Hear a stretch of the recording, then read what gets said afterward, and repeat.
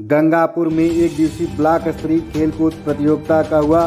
आयोजन विजेता खिलाड़ियों को रोहनिया विधायक पुरस्कृत कर किया उत्साहवर्धन, वाराणसी ज़िले के अराजिला विकास खंड क्षेत्र के गंगापुर इंटर कॉलेज के मैदान में शनिवार को लगभग 9 बजे से खंड शिक्षा अधिकारी शशिकांत श्रीवास्तव की देखरेख में एक दिवसीय ब्लॉक स्तरीय बाल क्रीड़ा प्रतियोगिता एवं शैक्षिक समारोह कार्यक्रम का आयोजन किया गया।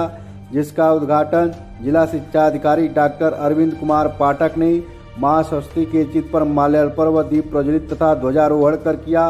वही खेलकूद प्रतियोगिता में प्राथमिक वर्ग में 50 मीटर 100 मीटर तथा 100 मीटर 200 मीटर 400 मीटर एवं पूर्व माध्यमिक में 100 मीटर 200 मीटर 400 मीटर एवं 600 मीटर की race, kabaddi kho kho gymnastic, volleyball, yoga आदि स्पर्धा दोनों वर्ग में अलग अलग बालक बालिकाओं की खेल प्रतियोगिता विधिवत संपन्न कराई गई।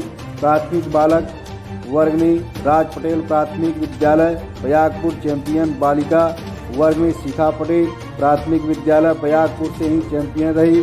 पूर्व माध्यमिक स्तर में बालक वर्ग में रवि कांत पटेल, यूपीएस कुरौना एवं बालिका वर्ग में खुशी वर्मा, यूपीएस प्रयागराज चैंपियन रही।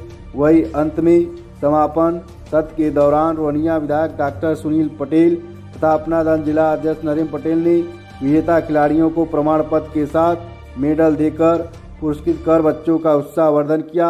वही कार्यक्रम के दौरान आए हुए अतिथियों को खंड शिक्षा अधिकारी शशिकांत श्रीवास्तव तथा अरविंद सिंह द्वारा अंगवस्त्र के साथ स्त्री चिन्ह देकर उन्हें सम्मानित किया गया।